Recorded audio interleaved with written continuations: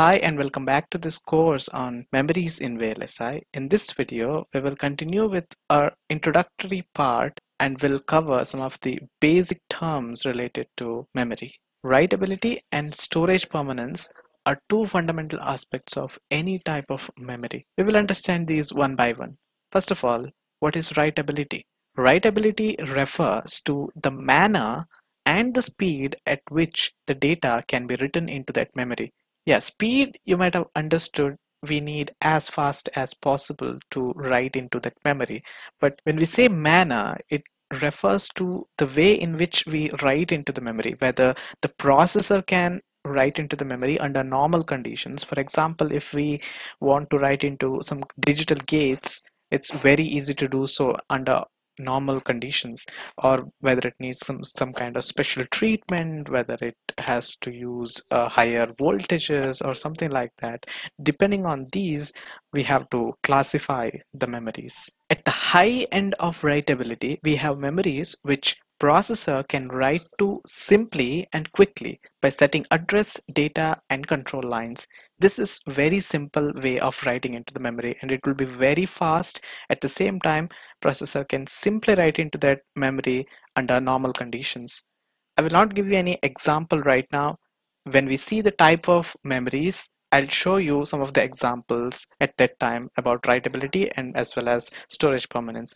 At middle range we have memories that are slower to write by a processor. So the speed is slower the lowest range is nothing but the memories that can be written to a special piece of equipment called as programmer or burner which means that the processor can cannot directly write into these type of memories so a programmer or a burner is a special tool or equipment which has to be used to write into that memory. The second term is storage permanence. The storage permanence refers to the ability of the memory to hold its stored bits after the bits have been written and it is the integrity of the memory itself. For an ideal memory, we want the highest storage permanence. That is, it should never lose its bits once it has been written, which means we can retrieve that information at any time. It should never lose the data. But in reality, it is not so.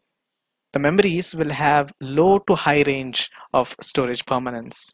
At the low range of storage permanence, we have memories that begin to lose its bits just after it has been written.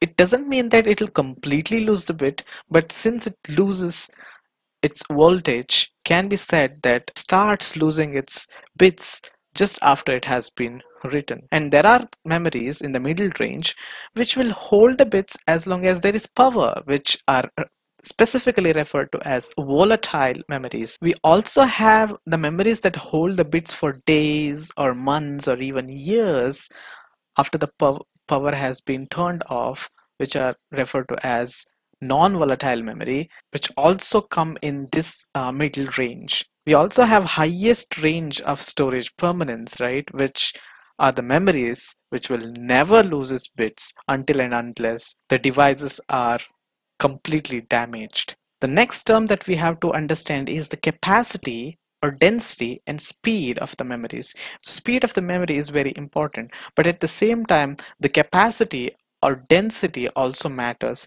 So in case of computers uh, and microprocessors, it is very important. We want to store as many bits as possible right but we always will have a trade-off of density versus speed because some memories which have highest speed need more area which reduces their density.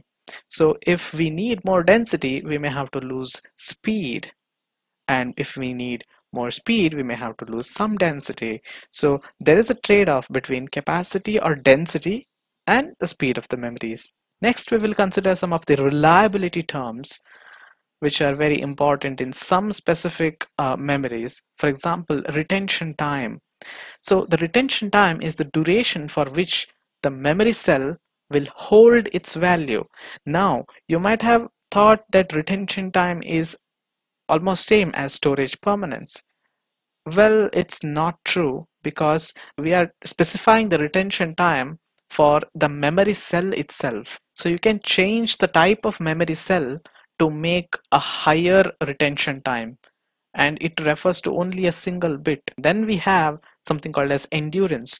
What is endurance? Endurance means the number of times that the cell can be erased and programmed. Well, this is very important because there is a highest or maximum limit for the number of times that can be written into the memory. We assume that always, okay, I can write as many times I want to into the memory, but this is not so in some of the memories. There is a maximum limit how many times you can erase and rewrite into that memory. So these are the terms which are very important in uh, memories in VLSI. Thanks a lot for watching. I'll see you in the next video and bye-bye.